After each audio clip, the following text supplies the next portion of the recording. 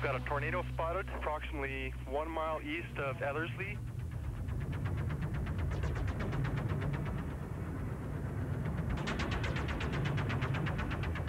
Emergency. Hello? Hi. I'm all alone and I think there's going to be something happening, a hurricane or something. I don't know what to do. I, am in my basement. I don't know what to do and I don't want to die. Please. Police. Yep. Okay, we're in the Clareview area Yes. and have been hit by their tornado. There's houses that are completely flattened in the area. Our roof is off. Your roof is off? Yeah, it's gone. God almighty, would you please help me?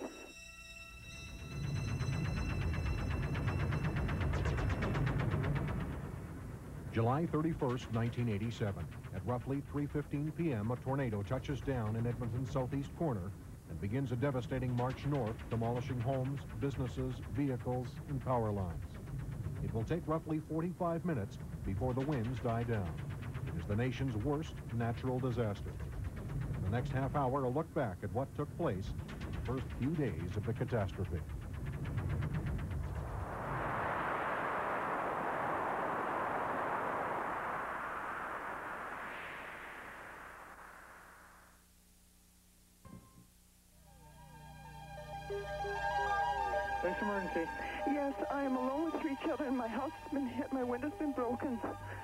Tornado.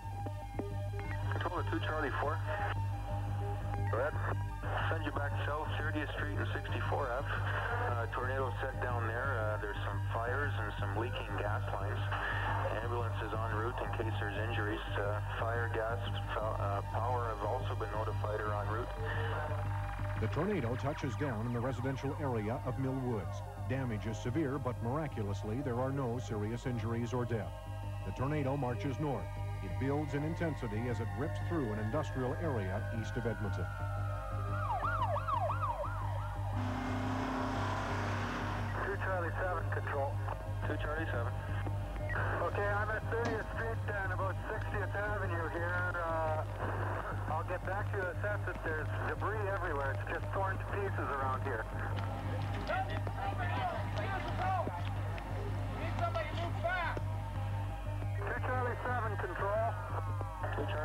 Right, uh, Wells Hall uh, warehouse here. Apparently there's a car on the roof, people trapped underneath. I have two uh, warehouses torn to pieces. I'm ambulance down here. Police, fire, and ambulance crews are literally swamped with calls. Almost everywhere they look, there is someone needing help. People trapped in cars, buried under tons of rubble, injured needing treatment, and the dead. The first priority is to find survivors and rush victims to hospital. There aren't nearly enough ambulances. The wounded are transported by whatever vehicles are available. Two Charlie 68 to control. Two Charlie 68. Right, I'm at 68th Avenue and about 30 Street. There's a house torn all to hell here. I'm going to go and see if I can find anybody. There's dead animals and everything around here. Also, there's uh, two trees down on the power lines along 34th Street. I would suggest that we better shut off 34th Street from between uh, 34th, uh, between the Point Buck Freeway and North, please. Two Charlie 5.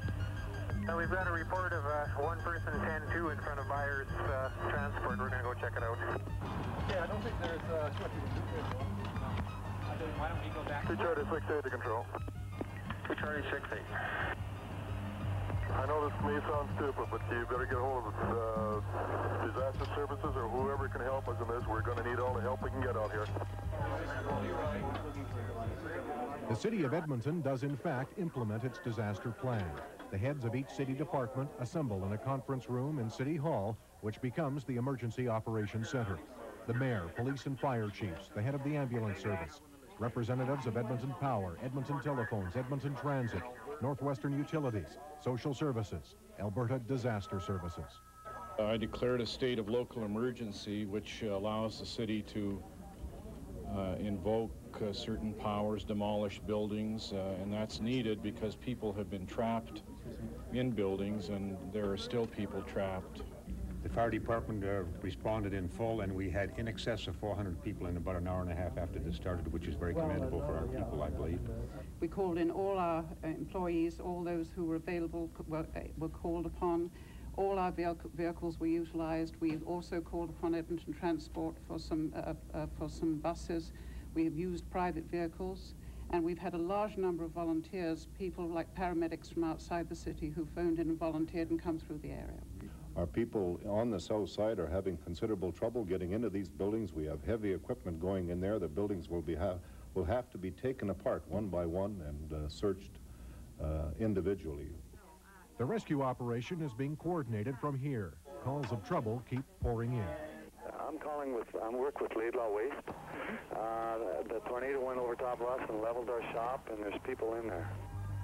The majority of resources are being sent to the industrial park, but the tornado is not yet finished. The funnel continues its trek north, heading into the Clareview area. It is now 3.40 p.m. 12 people are already dead. Winds reach 417 kilometers an hour. 463 houses will be damaged. Some are flattened. No feeling. Just, just blank. Don't know what to do. Don't know what we're going to do next. The terror moves further north to the Evergreen Trailer Park.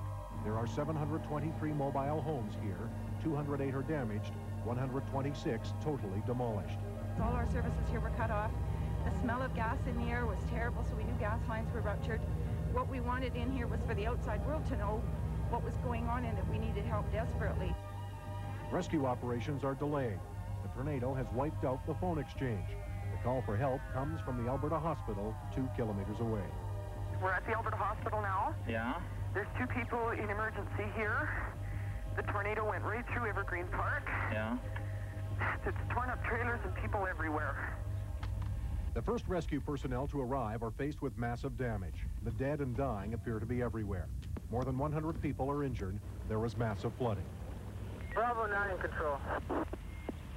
9. Power line's down here and it's a hell of a mess. Uh, we need lots of help. Bravo 9 control.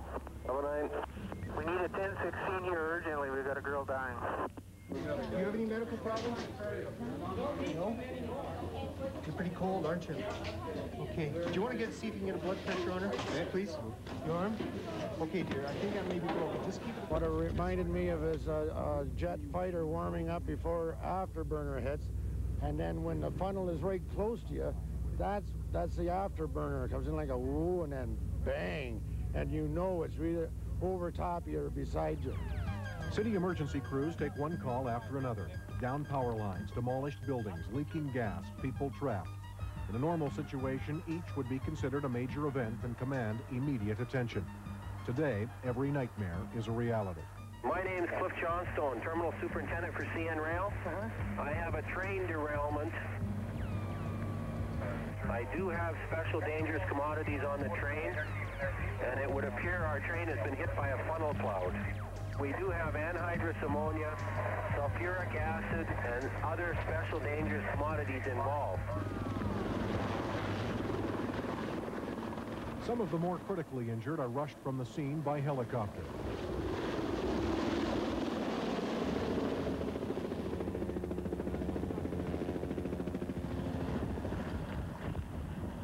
The medivacs land at Edmonton's Municipal Airport, where waiting ambulances take the patients. From here, it is only a few minutes' ride to hospital.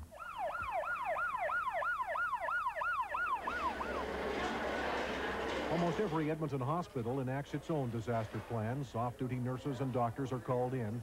Those here stay at their posts long after their shift ends. Volunteers from every area of the hospital come to the emergency department to help out. From the patients, horror stories.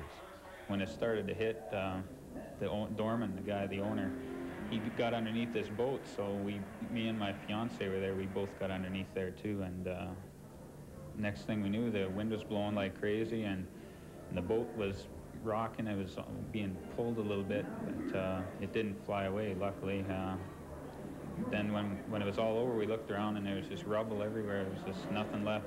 I was just sitting down reading uh, some mail, and I felt the wind going through my house that so fast that my ears were popping. And then I got up to look outside, and I could I could see the all the buildings on our property, which is about seven, eight, all being torn down. And I watched a van roll on the road in front of us, and I just went through the window with the rest of the house when it collapsed, and I just kept rolling. And I got hit with uh, half the house. power was knocked out, so we were outside watching it come in. We didn't think what it, what it was going to be like, eh? And so we went inside when it got closer, just leveled the whole building, whole street, leveled the whole block. I got cut in the head and back of the head and wrapped up shoulder, that's about it. Everybody else in our shop was okay. They were buried for about a half an hour. Most people couldn't believe that a tornado touched down here. In the United States, sure, but not here in Edmonton. Well, the fact is, well, damage on this scale is unprecedented. Tornadoes do touch down in Alberta every year.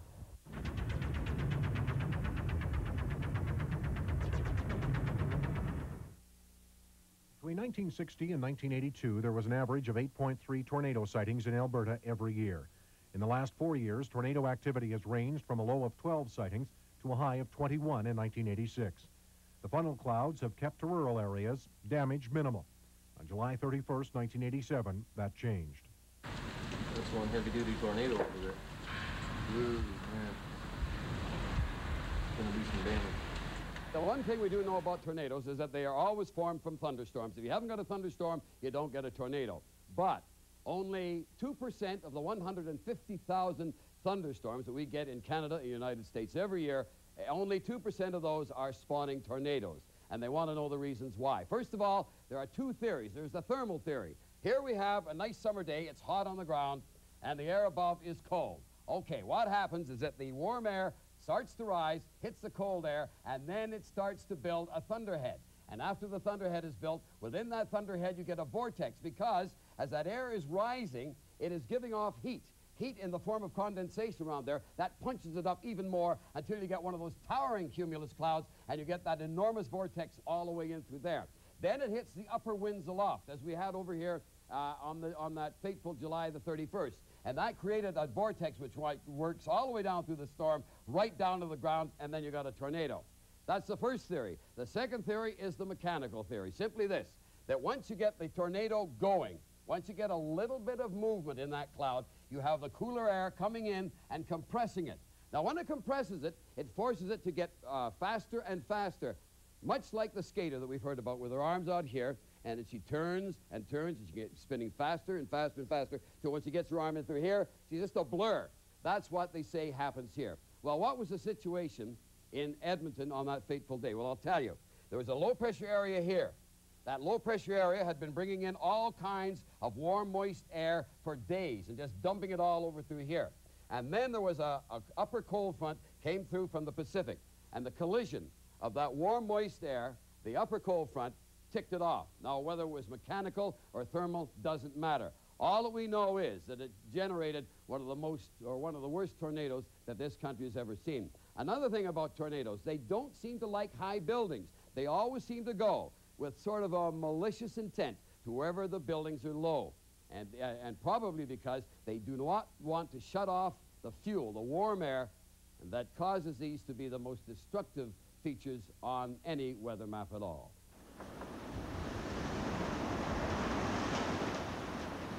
Tornadoes are rated using the Fujita intensity scale. Winds can reach as high as 509 kilometers per hour. Enough strength to lift and move tons of concrete, to throw vehicles about like toys, to demolish even the toughest of buildings. The Edmonton tornado rated as high as F4. Stay clear where you can get out if you have to, but be accessible. The first hour after the tornado hit can best be described as chaotic. Emergency personnel overwhelmed by the unfolding tragedy. 2 Charlie 6-8 to control. 2 Charlie 6-8. I have several buildings down here with people trapped under cement and everything else. Get me as much help as you can to uh, 64 Avenue and 27 28th Street, please. 2 Charlie 6-8 was Police Sergeant Ron Madej. It was uh, chaos, panic, uh, like nothing I've ever seen before, and hopefully nothing I'll ever see again. To tell you the truth, it didn't really sink into me until after I was relieved of my duties, which was uh, after a 24-hour shift and I got home and I was able to relax, and that's when reality really hit me. When I walked in the house, my uh, wife met me at the door, and she, uh, first thing she asked me if I was okay, and uh, then she asked me if I wanted to uh, have breakfast, and I said uh, no. So I walked over and I poured myself a large drink. I had one drink, and uh, I started talking to the wife, and I came about that far from crying. 2 Charlie 7, control. Two Charlie 7. Right, I'm at uh, that warehouse I was telling you about. I've got two injuries here. They're both conscious still, but quite severely injured. And apparently east of me, there's two trapped under a car. Uh, lots of people to look after them here. I'm headed east. Two Charlie 7 was Police Constable Mike Cook. We put up with 30 below zero weather. We don't put up with raging winds like that. And it's almost disbelief. Uh, deep down, I know it was there. I know I was there, but I didn't believe that it, it had actually happened. You didn't really have time to stand there and, and look around at the destruction and to really assess it. You just had to go in and uh, do what you could for the people that were coming out of the rubble. As time passes, the emergency plan begins to bring order to the rescue operation. Gas and power lines are shut off. Evergreen Trailer Park is sealed to all but emergency crews. Frustrating for those seeking word on family or friends. So all we're asking is that you stay here, leave your vehicles here, leave yourselves here, because the more people we got there, the more people we get in the way, and we don't need that. On the radio on the way here, they said there's 70 trailers right out of the place now. And now they say there's a major gas leak and there's ambulances going through here by the dozens and we don't know nothing. And you got family in there? I don't even know if my mom and dad's alive. Inside the trailer park, the hunt for those trapped in rubble continues. Many residents stumble about in shock. 1,700 people are to be evacuated. We were in lot 71, and the trailer is flat. I walked past the place, and the only thing I could find was my wife's Bible. Her trailer was the second from the road, and there's nothing there. Nothing. In the industrial area, a massive rescue operation continues. And you're responsible for going through the whole building and all their property. And once that's done, you come out and identify it to us. Okay. And that building's secure. Okay. Okay? It'll take five policemen and five volunteers. Searching the buildings is hampered by leaking chemicals and, of course, the tons of debris. As daylight fades, the hunt for survivors is complicated further. This was the scene at the North Lumber Yard. Huge movie lights brought in by a local television station illuminate a search area. A concrete roof weighing 300 tons was picked up and moved 75 feet. The owner of the lumber yard is buried underneath. Brick by brick, firemen, police, and volunteers work their way through the rubble. It is a frantic race against time. The longer it takes to find those buried, the more likely they will be found dead. Back at Evergreen, hundreds of volunteers continue to hunt for victims. A contingent of militia members searches through the remains of trailer. Hello, is anyone home?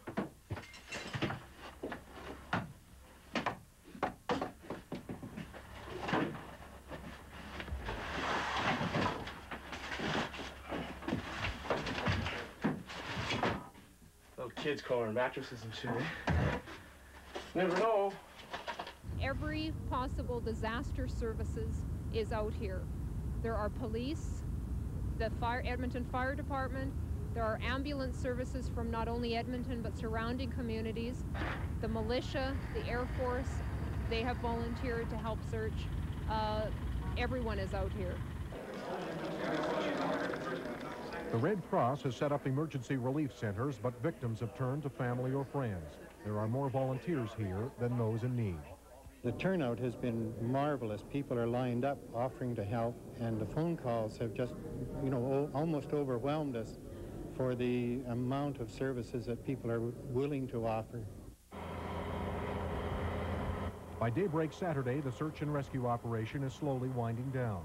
By Saturday afternoon, roughly 24 hours after the tornado hit, the emergency crews believe everyone is accounted for. The city's Emergency Operations Center at City Hall begins to relinquish responsibility for the cleanup. A site manager is appointed to coordinate activities with individual site commanders. One of their first jobs is to deal with sightseers. The damaged areas have become the biggest attraction in town. They don't want anybody down here unless they're living right on the block here. Everybody out. Oh, we just came around the back. Yeah, no, but the police are down there now. They're kicking everybody out there. There is also a fear of looting. The patience of victims is wearing thin. By Sunday, there is already talk of rebuilding. Residents of the trailer park are allowed to return to what remains of their homes to search for valuables. Oh my God.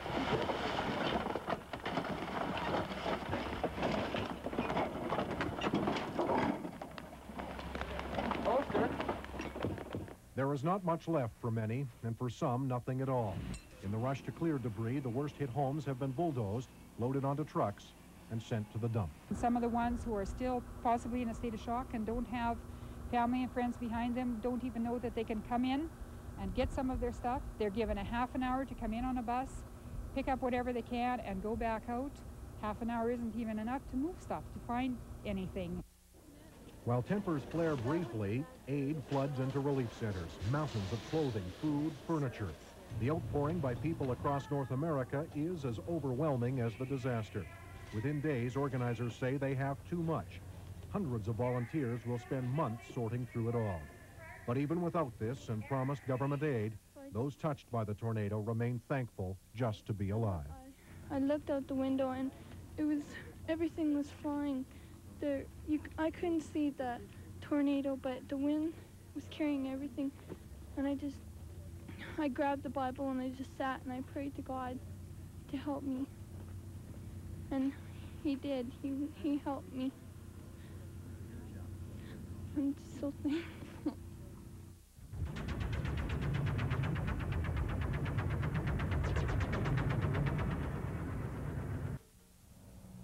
A massive report on how the city responded to this tragedy has been prepared.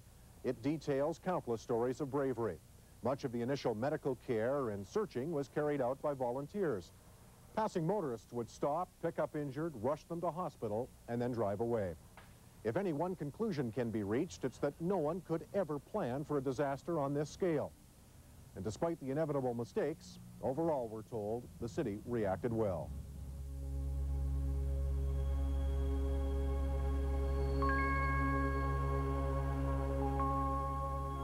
Final damage estimates indicate the tornado destroyed $2.5 million worth of property in Mill Woods, more than $250 million damage in the industrial park, roughly $8 million damage in Clareview, and an equal amount in the Evergreen Mobile Home Park. Hundreds of people were injured, 27 were killed, men, women, and children.